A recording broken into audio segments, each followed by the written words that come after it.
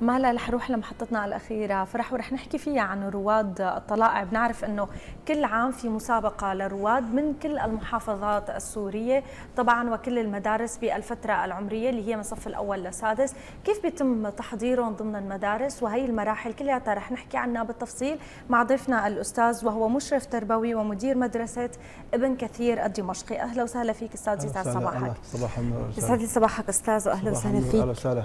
آه، اليوم لما بنحكي عن الرواد فنحن بنحكي يمكن عن فئة من المتميزين بحاجة للتطور والدعم بالبداية. كيف بنقدر نختار هدول الأطفال المناسبين للخوض في مسابقة الرواد وكيف بيتم تهيئتهم فيما بعد؟ آه، أول شيء صباح الخير وإن شاء الله هيك ألف مبروك للطلاب الرواد اللي نجحوا على مستوى المناطق.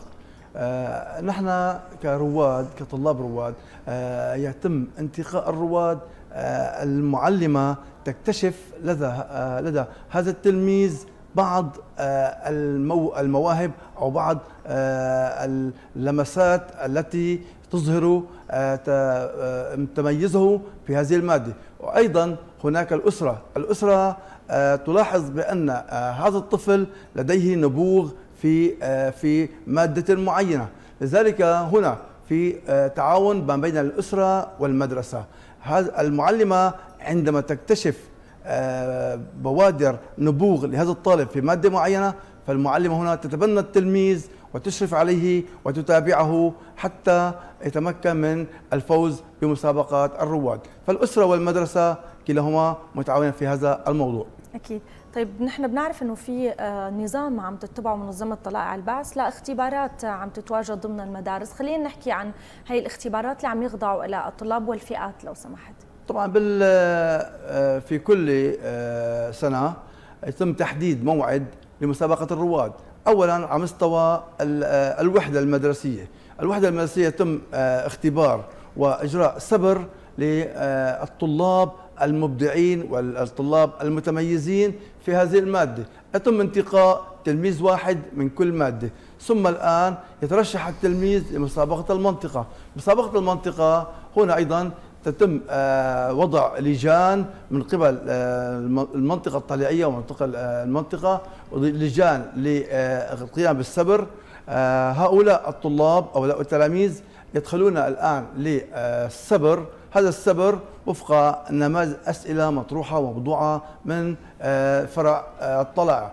الآن كلا حسب اجتهاده وحسب نتائجه الطالب المتفوق هو الذي يحصل على الريادة. ثم بعد ذلك يتأهل على مستوى الفرع. على مستوى الفرع الآن نحن بعد أيام لدينا غدا أو بعد غد هناك مسابقات على مستوى فرع دمشق.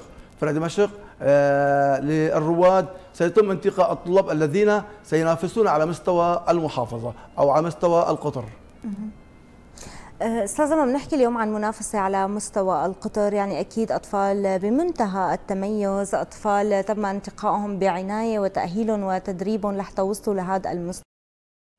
لكن السؤال اليوم يمكن الأغلب الناس اللي بتطرحه شو في بعد القطر اليوم هل يتم إعادة الاهتمام بهؤلاء الأطفال؟ يمكن لحتى تكبر موهبتهم أكبر أكثر وتستمر لأنه مثل ما بنسمع نحن الموهبة إذا ما تم العناية فيها فهي بتندثر وبتروح كأنها ما كانت. طبعا هؤلاء الأطفال هؤلاء الرواد الذين فازوا بالريادة. هناك تشجيع لهم من قبل المنظمة. هناك مكافأة لهم من قبل المنظمة. تكريم لهؤلاء الطلاب. يتم تكريمهم كل عام لتكريم الرواد.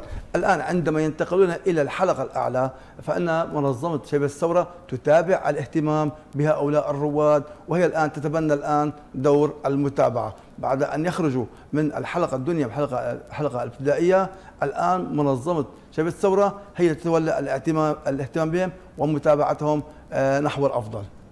طيب أستاذ خلينا نحكي عن المواد اليوم أو المجالات اللي عم بيتم التدريب الأطفال عليها ضمن مسابقات الرواد. الرواد هناك الكثير من المجالات. اللغة العربية سواء اللغة العربية سواء كان التعبير أو الفصاحة والخطابة أو كتابة القصة أو كتابة الشعر الرياضيات العلوم الفيزياء أيضا الفنون الرسم النحت واستعمال بقايا مخلفات الطبيعة. هناك الكثير من المجالات في كي يدخل بها الطلاب الرواد. هناك الكثير من المجالات. إذا نحن هنا لسنا أمام حيز معين. هناك الكثير من المجالات التي يدخل الطلاب أو التلاميذ في مسابقات الرواد. قد إيه عم بيكون في تعاون كبير بين الأهل والمدرسة؟ يمكن لحتى الأهل يدعموا أطفالهم إن كان معنويا إن كان حتى بانتقالهم ببعض الأحيان حسب المسابقات وين بتكون من محافظة إلى أخرى. قد إيه لازم يكون في إيمان من الأهل كثير كبير بأطفالهم؟ آه هناك تعاون وثيق بين الأهل والمدرسة. آه عندما آه عندما آه تفوق لدينا الطلاب في المدرسة تواصلنا مع الأهالي. آه، لدينا رائدة في مجال التعبير. هذه الرائدة آه، تواصل والدها معي بكوني أنا اختصاص لغة عربية. فهذه الطفلة أنا تبنيتها وبدأت آه، أتابعها وأشجعها وأعلمها على مادة التعبير. أيضا لدينا طالبة في مجال الفصاحة والخطابة. أيضا كذلك تواصلت مع الأهل وأيضا تبنيت أنا هذه الطفلة كي تكون في المستقبل آه، رائدة على مستوى القطر. هناك يجب أن يكون في تواصل ما بين الأهل وما بين المدرسة. آه، هذا التواصل يعطي التلميذ حافز وتشجيعا من أجل الوصول إلى أعلى المراتب. أكيد. طيب خلينا نحكي كمان اليوم عن هل في شيء تدريبي عم تقوموا فيه بالمدارس؟ تأهيلي قبل مسابقة الرواد لحتى ترفعوا من سويه مثلا كل مدرسة ترفع من سويه الطلاب المشاركين مع عندها؟ طبعا نحن آه، كل معلمة مثلا في الحلقة في صفوف الدنيا كل معلمة هي تتولى عملية آه، تدريب هذا الطالب. حتى آه، نحن أيضا إذا كان الأمر آه، طبعا آه، قادرين عليه نحن نشجع التلميذ أو الطالب آه، نقوم بمتابعة الطالب وتشجيعه وإعداده إعدادا جيدا كي يدخل إلى مسابقة الرواد وهو مهيأ وهو مؤهل بشكل جيد جدا. بعض الأطفال يمكن بنشوف آه، إنه هن مثلا عندهم رغبة يدخلوا بمسابقة الرواد آه، بأي مجال كان سواء التعبير الفصاحه والخطابه العلوم غيره من المواد. آه، ممكن الأستاذ إنه ما يشوف فيه هذا الطفل يمكن يلي قادر يجتاز هي المراحل. هون ممكن يآمن المدرس برغبة الطالب ويشتغل عليها أو لا هي لازم تكون الموهبة والقدرة الذهنية حاضرة.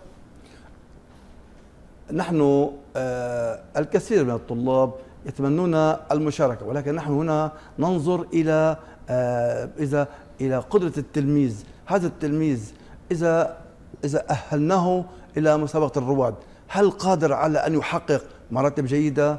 نحن لا نؤهل إلى الرواد إلا التلميذ الكفء التلميذ الذي آه، يستطيع أن يحقق إنجازا جيدا نحن المعلم أو المعلمة أثناء العام الدراسي تشاهد وتعرف هذا التلميذ في أي مجال هو مبدع. لذلك نحن لا نقوم بترشيح أي تلميذ إلى الريادة إن لم يكن متميزا لم يكن مبدعا في هذا الاختصاص. طيب أستاذ خلينا قبل ما نختم حديثنا مع حضرتك ناخذ هيك نصائح لكل آه، طبعا الرواد اللي هن مقبلين اليوم على الامتحانات مثل ما قلت فرع دمشق وغيرها. آه، شو النصائح اللي بتنصحهم إياها؟ آه، هلا مع آه، بداية آه، اختبارات الرواد على مستوى الفرع أنا أنصح هؤلاء الطلاب هؤلاء التلاميذ العمل على رفع كفاءتهم العمل على الدراسة أكثر في مجالهم العمل على تطوير أنفسهم ألا يخافوا أو ينتابهم شعور الخوف انني أنا الآن سأذهب إلى مسابقه على مستوى الفرع.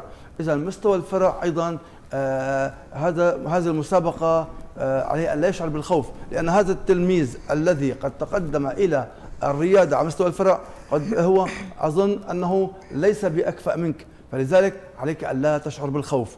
اثنين آه هذا التلميذ لا يضع في حسبانه أن هناك موضوع الغبن قد يتعرض للظلم فإن لأن منظمة طلائع البعث وفرع دمشق قد انتقى خيرة الأساتذة أو المعلمات والمعلمين الذين هم سيكونون مشرفون على آه، الفحص الريادي ولن يكون هناك أي تحيز أي ظلم أو غبن لأي تلميذ. أكيد. ونحن بهذا الصباح بنتمنى أكيد التوفيق لكل الطلاب المتقدمين لمسابقة الرواد تحية كثير كبيرة أيضا للمعلمين والمعلمات اللي عم يدعموا الأطفال بشكل كثير كبير ويطوروا من موهبتهم ويساهموا يمكن بزرع الفرحة على وجوه الأهل من آباء وأمهات. كل الشكر لك أستاذ. شكرا. شكرا لكم. أهلا وسهلا. شكرا لك. شكرا لك.